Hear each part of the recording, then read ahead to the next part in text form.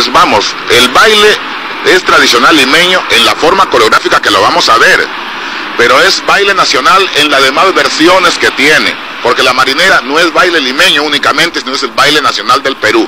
La versión que vamos a ver es...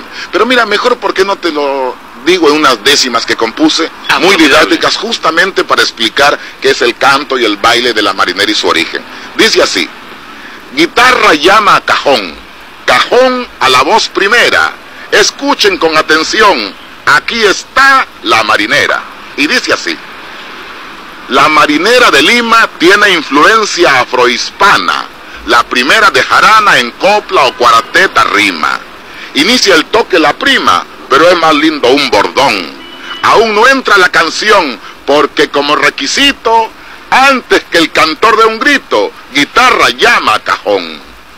Los que escuchan hacen palmas y se cuadran las parejas. Por lo general son viejas, mejor aún si son zambas. Tan solo mueven las gambas y un poquito la cadera. Todo esto mientras espera, pues nadie baila sin canto. Sigue llamando entre tanto cajón a la voz primera.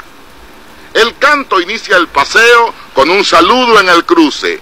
Media vuelta los conduce a otro cruce y al careo. Tras lateral con toneo, vuelta y trocar posición. Como dicha operación se da al fin de cada estrofa, en vez de bailar por mofa, escuchen con atención. Como quien sudor enjuga, un momento se reposa.